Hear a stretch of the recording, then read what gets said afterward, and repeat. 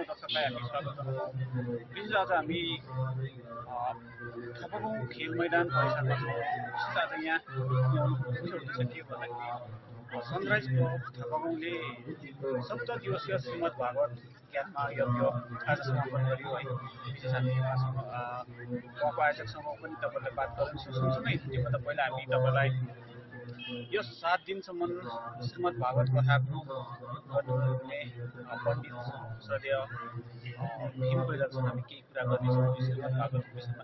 सानो छोटो अन्तर्वार्ता लिनेछौँ है विशेष यो अन्तर्वार्ता अन्त्यसम्म हेर्ने तपाईँलाई हामी स्वागत गर्न चाहन्छौँ। धन्यवाद। विशेष विशेष है यो श्रीमद् भागवत पुराण आयोजना गर्नुपर्छ है यो पुराण आयोजना मुख्य मुख्य उद्देश्य भनेको कार्यक्रममा श्रीमद् भागवत महापुराणको सबै पुराणहरू छन् है त्यसमा श्रीमद् भागवत महापुराणको विशेष उद्देश्य भनेको श्रीमद् भागवत महापुराण भनेको जम्मा अठारवटा पुराण मध्येको सर्वश्रेष्ठ पुराण हो. त्यस कारणले गर्दा यसलाई श्रीमद् तिल श्रीमद् शब्दले तिलक पनि लगाउनुको कारण पनि हो। यसमा श्रीमद् भागवत महापुराण भनेर भनिन्छ श्रीमद् भागवत महापुराणको धेरैवटा उद्देश्यहरू हुन्छ यसमा आफै आन्तरिक तरिकाले पनि छुकेर छुकेर बसेको हुन्छ आयोजना गर्ने कर्तालाई त्यत्रो बेसी सबै थाहा नभए तापनि तर यसको उद्देश्य धेरैवटा लुकेको हुन्छ कि यसको मतलब फलको रूपमा धेरैवटा मतलब प्रस्तुत भएको हुन्छ। श्रीमद् भागवत महापुराणले विशेष गरेर पितृहरूको उद्धारको लागि भनेर विशेष भनिन्छ। जस्तै अतृप्त आत्मा मान्छेको अतृप्त आत्मा हुन्छ मानव जीवनको एउटा अतृप्त आत्मा हुन्छ। जस्तै प्रकारले एउटा मानवले चाहे कुनै कर्म गर्दा गर्दै उसले केही कुरा सोचेको धेरैवटा अब सोच धेरै लामोसम्म पनि हुन्छ र त्यतिकैमा यदि कसैको मृत्यु भएको हुन्छ अधुरो रहेको हुन्छ भनेदेखि त्यो एउटा अतृप्त आत्मा उसको अपेक्षाहरू धेरै बाँकी नै रहेको हुन्छ संसारमा। त्यस्तो खालको तरिकाले अब धेरै छन् यसको तरिकाहरू है त त्यो तरिकाले एउटा अतृप्त आत्मा हुन्छ यो संसारमा। यसलाई जुनै तरिकाले पनि हामीले हेर्न सकिन्छ।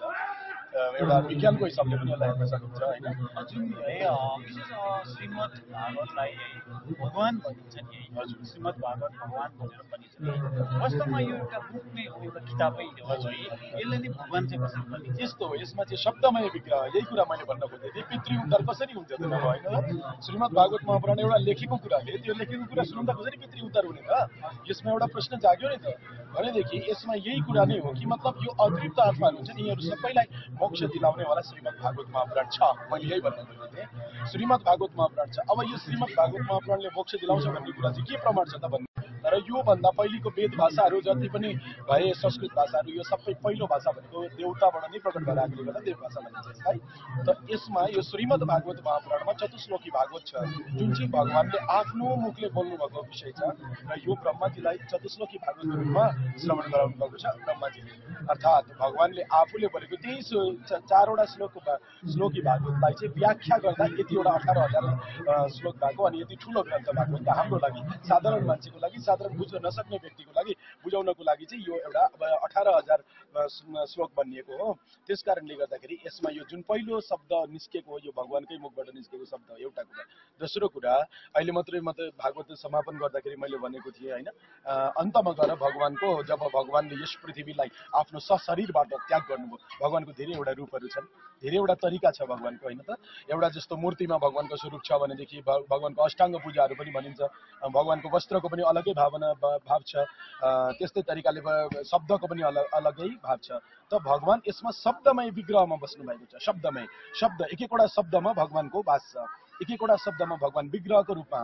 अर्थात् त्यसमा नै भगवान् एउटा मूर्तिको रूप बनेर बस्नु भएको छ। शब्दमय विग्रह भनेर त्यस कारणले गर्दा यसलाई भागवत भवन भनिन्छ विशेष है यो जति पनि श्रीमद् भागवत है पुराणहरू छन् है पुराणहरूमा सर्वश्रेष्ठ पुराण चाहिँ है कुन चाहिँ चाहिँ मानिन्छ?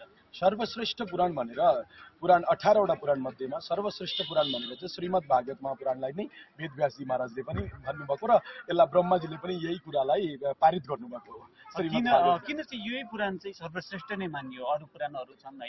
हजुर। यसमा यस्तो छ यसमा अरू पुराणहरूमा कतिवटा कुराहरू जस्तो शिव पुराण भयो है ब्रह्म वैवर्त पुराण भयो देवी भागवत देवी भागवत त लगभग यसैको उयो नै छ एउटा प्रकृति र पुरुषको रूपमा देवी श्रीमद् देवी भागवत महापुराण र श्रीमद् भागवत महापुराण प्रकृति र पुरुषको स्वरूप तर अरू पुराणहरू जति पनि छन् विशेष एउटा एउटा विशेषताको कारणले गर्दा जस्तै शिव पुराण एउटा शङ्कर भगवान्को विशेषता मात्र त्यसमा बेसी झल्किन्छ त्यस्तै तरिकाले अरू पुराणहरू पनि जति पनि छन् होइन यी पुराणहरू सबै जुन जुन पुराणहरू छन् त्यो त्यो एउटा भनौँ भगवान्को अथवा त्यो अस्तित्वको एउटा विशेष गरेर व्य- व्याख्या मात्रै बेसी छ। तर श्रीमद् भागवत महापुराणले सबै कुरालाई समेटेको छ। ब्रह्माण्डदेखि लिएर ब्रह्माण्डमा भएका प्राणी मात्रदेखि लिएर सृष्टिदेखि लिएर प्रलय पर्यन्त अनि एक मात्र ब्रह्मबाट अनेक रूप भएको र त्यही एक मात्र ब्रह्मबाट अनेक रूप हुँदाखेरि त्यो अनेक रूपमा बसेको यस्तो यस्तो स्वरूप हो भनेर सबैलाई सम्मान जनाएर त्यस्तो तरिकाले सबै कुराको स्पष्टीकरण गरेको कारणले गर्दा श्रीमद् भागवत महापुराणै सर्वश्रेष्ठ।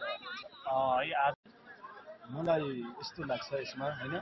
हुन त अब अहिले के भयो भन्दाखेरि अब धेरैतिर पुराणहरू पनि चलिराखेको पनि हुन्छन् अनि अब कतिवटा ठाउँमा आफ्नो आफ्नो तरिकाले पनि कार्यक्रमहरू भइराखेको हुन्छन्। त्यसले गर्दा कतिवटा मान्छेलाई कतिवटा कुरा सही लागेको हुन्छ कतिवटा पचेको हुन्छ कतिवटा नपचेको पनि हुन्छ त्यस्तो खालको स्थितिहरू पनि हुन्छ। त्यस कारणले गर्दाखेरि अब सबैमा त्यो मतलब एउटा आध्यात्मिक ज्ञान परिपूर्ण रूपले सबैमा भयो होला भन्न त सकिँदैन। तर यति जरुर हो कि मैले यो थाहा पाएकोमा एउटा अनुभव गरेको छु एउटा बच्चा बच्चादेखि लिएर वृद्धसम्ममा नै पूर्ण रूपले भक्ति जागेको छ यहाँ। र बच्चादेखि लिएर वृद्धसम्मकै सबैको मनमा एउटा आध्यात्म चाहिँ पूर्ण रूपले मनमा चाहिँ बसेको छ मैले यो अनुभव गरेको छु। अन्तमा है जति जसले पनि तपाईँलाई हेर्नुहुँदैछ हामीलाई हेर्दै हजुर। विशेष के भन्नु चाहनुहुन्छ? विशेष गरेर जति पनि च्यानल हेरेर बस्नु भएको छ है वैदिक सनातन धर्म अवलम्बीहरू जति पनि हुनुहुन्छ एउटा धर्म अवलम्बी भन्नाले सनातन धर्म सनातन भनेको जति हुन्छ सबैमा म यही भन्न चाहन्छु हामी एउटा मानव हौँ मानवताले रहौँ है मानवतामा एकता आओस् मानवतामा एकता आओस् शान्ति सुख शान्ति र समृद्धि सबैमा छाइरहोस् सबैले एउटा राम्रोसँगको खुसी जीवन जिउन पाउनुहोस् एकता सबैमा रहोस् विशेष गरेर हामीमा रहनुपर्ने एउटा एकतापन त्यो रहोस् आध्यात्म रहिरहोस् सबैको आध्यात्म रहोस् आध्यात्म बिनाको जिन्दगी जिउनु भनेको एउटा आध्यात्म समुन्नति बिनाको जीवन जिउनु भनेको बालुवाको पुल बनाएर नदी तर्ने इच्छा राख्नु जस्तो हो। त्यसैले गर्दाखेरि एउटा मानव जीवनलाई यदि मानव जीवनको पराकाष्ठा हो भने कुनै चिज हो भने मानव जीवन यदि सम्पन्न हुनुपर्छ भनेदेखि आध्यात्मसँग सम्बन्ध हुनुपर्छ। त्यसैले गर्दा सबैको आध्यात्मसँग सम्बन्ध रहिरहोस् है। यही मेरो तर्फबाट प्रार्थना छ। सबैमा एकता रहिरहोस्। सबैले सबैलाई सम्मान गरेर चलौँ है। यही नै म सबै मानवतामा एकता आओस् भन्ने नै मेरो अपेक्षा अँ, विशेष हामीलाई दिनुभयो है हजुर समय हामी समय हुन्छ धन्यवाद है। म मेरो तर्फबाट टिभी च्यानललाई पनि होइन जस जसले त्यहाँ टिभी च्यानलबाट हेरेर बसिरहनु भएको छ हजुरहरू सबैलाई डिएसटिभी हेरेर बस्नु भएको छ होइन डिटिभी डिटिभी सरी मा माफ गर्नु होला डिटिभी दार्जिलिङ टिभी हजुर। दार्जिलिङ टिभी हेरेर बसिरहनु हुने समस्त सबै सबैलाई है मेरो तर्फबाट हार्दिक राधे राधे जय श्री कृष्ण अनि दार्जिलिङ टिभीलाई पनि मेरो तर्फबाट धेरै धेरै धन्यवाद छ। विशेष है तपाईँहरूको यो सप्तम दिवसीय श्रीमद् भागवत कथा आज पूर्ण रूपमा समापन गर्नुभयो है। विशेष के भन्नुहुन्छ? र सबैमा राधे राधे। र हामी कैजेलिया थापा गाउँ है सनराइज क्लबद्वारा आयोजित यस सप्ताह महाज्ञान यज्ञ श्रीमद् भागवतको जो तेइस डिसेम्बरदेखि सुरु भएर आज तिस डिसेम्बरको दिन एकदमै भव्यताको साथ हामीले सुरु गरेको थियौँ। त्यस्तै प्रकारले आज समाप्त पनि भयो। समापन समारोह पनि सकियो हाम्रो है अहिले भर्खरै। र यस विशेष त यस पुराणलाई जो सात दिन चलेको थियो र यस पुराणलाई कथा वाचन गर्नु आउने हाम्रो श्रद्धेय गुरु भीम कोइरालाज्यूलाई हामी सम्पूर्ण कमिटीको पक्षबाट धेरै धेरै मुरी मुरी धन्यवाद दिन चाहन्छौँ। उहाँले धेरै धेरै ज्ञानहरू बाटेर जानुभयो। हामी मात्रै नभएर यहाँ धेरै धेरै टाढाबाट धर्मावलम्बीहरू ज्ञान लिन आउनुभएको थियो। उहाँहरूले पनि राम्रोसँग कथाको श्रवण गरेर जानुभयो र यस श्रवणद्वारा उहाँहरूको जिन्दगीमा या उहाँहरूको घर परिवारमा सुख शान्ति समृद्धि छाओस् भन्ने हाम्रो पनि त्यही ध्येय थियो अनि गुरुजीको पनि वाचन त्यस्तै नै थियो र त्यही नै सबैले सिक लिएर जानुभएको छ। अत अनि यस पुराणलाई सहयोग पुर्याउनु हुने हाम्रो सम्पूर्ण जति पनि हाम्रो क्लबका मेम्बर्सहरू हुनुहुन्छ क्लबदेखि बाहिरको अन्य अन्य क्षेत्रको विभिन्न समाज जहाँ हामीले सहयोगको निम्ति अपिल गरेका थियौँ उहाँहरू अनि धेरै धेरै महान व्यक्तित्वहरू जसले हामीलाई हरेक प्रकारले सहयोग गर्नुभएको थियो। कसैले भण्डाराको प्रयोजन मिलाइदिनु भएको थियो कसैले गाडी दिनुभएको थियो कसैले कतिवटा सामानहरू दिनुभएको थियो अनि कतिले हामीलाई श्रमदान दिनुभएको थियो भने कतिले आर्थिक सहयोग एकदमै गर्नुभएको थियो। उहाँहरू सम्पूर्णलाई हामी कमिटीको पक्षबाट एकदमै धन्यवाद दिन चाहन्छौँ। अ, बढ्दो समाजको विकृतिलाई अ, राम्रो समाजमा लानुपर्ने एउटा सोच गरेर तपाईँहरूले एउटा पुराणको आयोजना गर्नुभयो है। कतिको सक्षम हुनुभयो तपाईँहरूले यो सोच परिवर्तन हुन्छ जस्तो लाग्छ कि के लाग्छ राधे राधे सबैमा। अ, यो जुन चाहिँ अहिलेको युगमा है टिभी मोबाइल इन्टरनेटको जमानामा पनि अब यो जति यहाँनिर गाउँ समाज भयो अथवा अन्य क्षेत्रमा पनि त्यस्तै युवाहरू भ भड्किरहेको है कुलतमा लागिरहेको त यसलाई चाहिँ मने मध्यनजर राखेर हामीले जुन चाहिँ यो पुराण लगाएको थियौँ यसमा हाम्रो उद्देश्य के थियो भने चाहिँ अ, युवा वर्गको मनमा चाहिँ एउटा धर्मको भावना जागोस् मैत्री सद्भावना भाइचाराको जति पनि पाठहरू छ यो हामीले धर्मद्वारा नै हामीले हाम्रो आउने पिँढीहरूलाई दिन सक्छौँ र यो पाठ यो उद्देश्यले नै हामीले यो लगाएको थियौँ र हामीलाई लाग्छ यस पुराणमा जति पनि युवाहरूले भाग लिए जति युवाहरूले यसमा खटिए र कथाहरू सुने उहाँको मन अवश्य नै यस कथाले अथवा यस महापुराणको ज्ञानले चाहिँ परिवर्तन हुनेछ भन्ने हामीलाई पूर्णत विश्वास छ। तपाईँ एउटा सनातन धर्मलाई नै मान्ने एउटा हुनुहुन्छ भनेर हामीले सुन्यौँ है। विशेष के भन्नुहुन्छ? सनातन धर्म नै ठिक हो कि कोही के भन्नुहुन्छ कस्तो लाग्छ? हजुर सबैलाई च्यानल हेर्नुभएको है सम्पूर्ण भक्तजनहरूलाई। म यस कैजले थापा गाउँका धर्मगुरु है। म चाहिँ भन्छु कि अब धर्म भन्ने कुरो कसैको पेवा नहुने रहेछ है। त्यसले गर्दाखेरि हामी सम्पूर्ण बुद्धिस्ट होस् हिन्दू परम्परा होस् है। अ, सबैजनाले नै हामीले धर्म भन्ने कुरो भगवान् भन्ने कुरोलाई अब हामीले सबैले मान्नु एकर्चित गर्नु एउटा धेरै नै आवश्यकता रहेछ।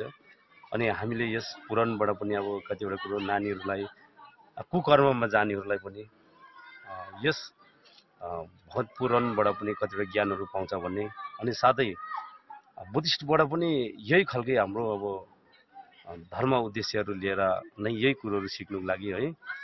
यही भन्न चाहन्छु अब सबै बिग्रेर जानेहरूलाई पनि हामी सम्पूर्णलाई नै अब हामीले यस धर्म भन्ने कुरो अब छुट्याएर गर्ने कुरो होइन रहेछ तर सबैजना हामी एक भयौँ भनेदेखिलाई चाहिँ अब संसारै एक हुने रहेछ भन्ने कुरो चाहिँ हामी उद्दे- उद्देश्य ल्याएर चाहिँ हामी यस बुद्धिस्ट अथवा हिन्दू सबै धर्मावलम्बीहरू बस- बसेर चाहिँ हामीले यस भगवत पुराण समारोह गरेको। र अन्तमा यस कैजले जुनियर हाई स्कुलमा लागेको पुराण सनराइज क्लबद्वारा आयोजित यसमा जति पनि महानुभावहरूले हामीलाई प्रत्यक्ष रूपमा होस् या अप्रत्यक्ष रूपमा सहयोग गर्नुभयो आर्थिक सहयोग गर्नुभयो धेरैवटा कुराहरूमा हामीलाई सहयोग गर्नुभयो अनि जति पनि भक्तजनहरू वरपर छिमेकी गाउँहरूबाट पनि आइदिनु भयो उहाँहरू सबै सबैलाई हामी सनराइज क्लब थापागाउँको तर्फबाट मुरी मुरी धन्यवाद दिँदछौँ। भविष्यमा पनि आउँदो दिनहरूमा पनि हामी यस्तै प्रोग्राम राखेका हुन्छौँ। त्यति बेला पनि उहाँहरूलाई हामी निम्ताएका हुन्छौँ। यति भन्दै हाम्रो तर्फबाट सनराइज क्लबबाट सबै सबैमा जय होस्। सबै सबैमा मङ्गलमय कामनाको